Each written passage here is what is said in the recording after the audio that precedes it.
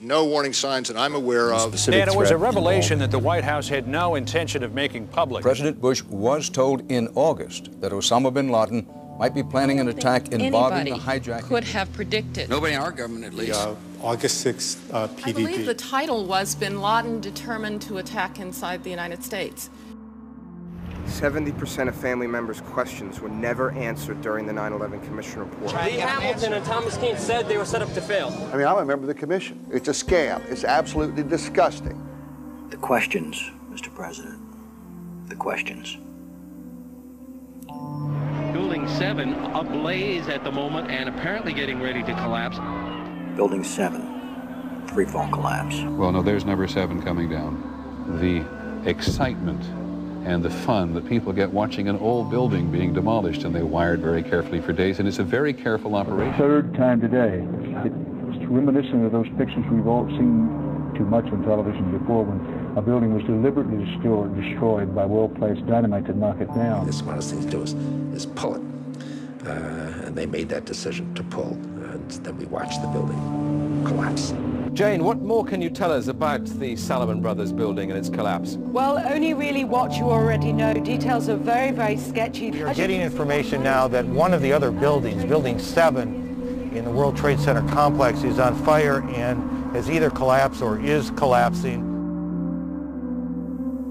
The Pentagon. Vanishing airplane my close-up inspection, uh, there's no evidence of a plane having crashed anywhere near the Pentagon. The only site uh, is the actual uh, site of the building that's crashed in, and as I said, the only pieces left uh, that you can see are, are small enough that you could pick up in your hand. Uh, there are no large uh, tail sections, wing sections, a fuselage, nothing like that anywhere around, which would indicate that the entire plane crashed into the side of the Pentagon.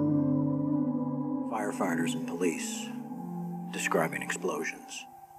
A lot of them.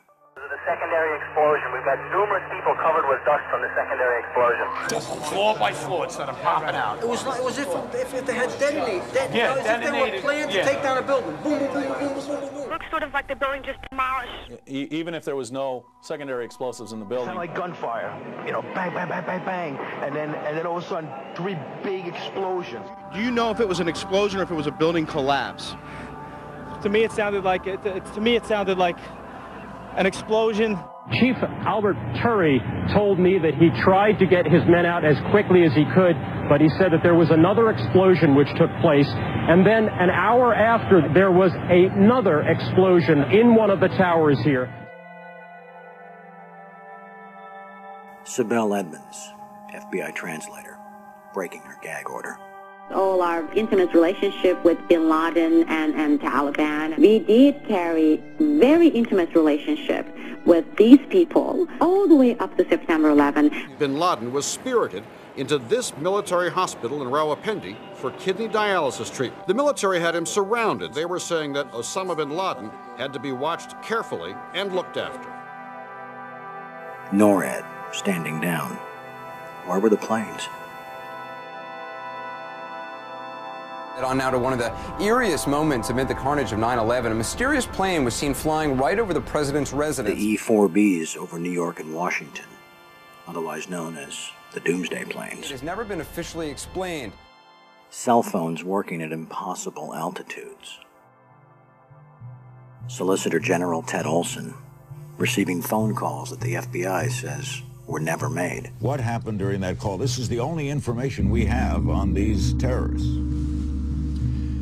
She was able to call him twice. How she could pull that off, we don't know, but she did. These are the questions, Mr. President. These are the questions. They go on and on. Good afternoon, Mr. President. I come to you today representing the families of the victims of September 11th, as well as millions of my fellow Americans.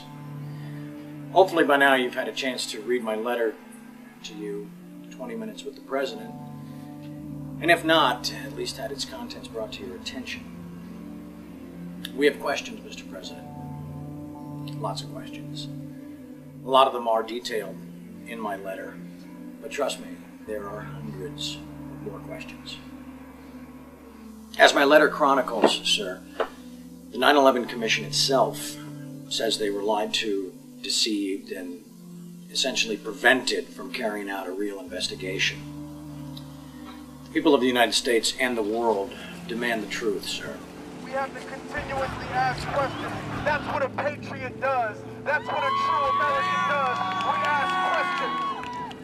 You, sir, have the power as well as the responsibility to initiate a truly independent congressional investigation into the events of 9 11 as well as its aftermath. We want our country back, Mr. President. Therefore, I'm not just calling on you and your team, I'm calling on each and every American citizen to wake up, stand up, and demand the truth. We're counting on you, Mr. President. Be on the right side of history.